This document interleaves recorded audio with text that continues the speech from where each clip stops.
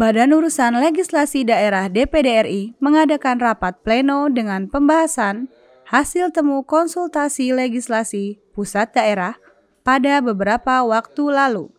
Rapat BULD ini dipimpin oleh Ketua BULD DPD RI, Stefanus Banliau dan dihadiri oleh jajaran anggota BULD DPD RI yang tentunya dalam rangka melanjutkan pemantauan dan evaluasi Perda APBD 2023 dan Raperda APBD 2024 mendatang.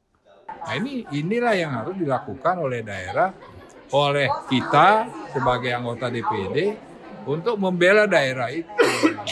gitu. Nah hari ini antara lain kan disimpulkan hasil pertemuan-pertemuan kita selama ini, hasil rapat kerja kita selama ini, untuk tadi lebih memantapkan fungsi DPD RI sebagai representasi daerah untuk memperjuangkan daerahnya.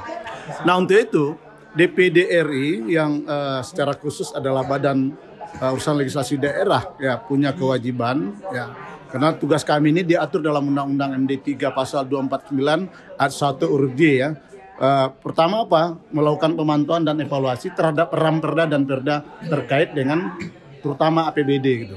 Nah, kita ingin bagaimana mengawal ya kebijakan-kebijakan yang berhubungan dengan uh, aturan-aturan daerah ini, daerah tidak dirugikan oleh pemerintah pusat.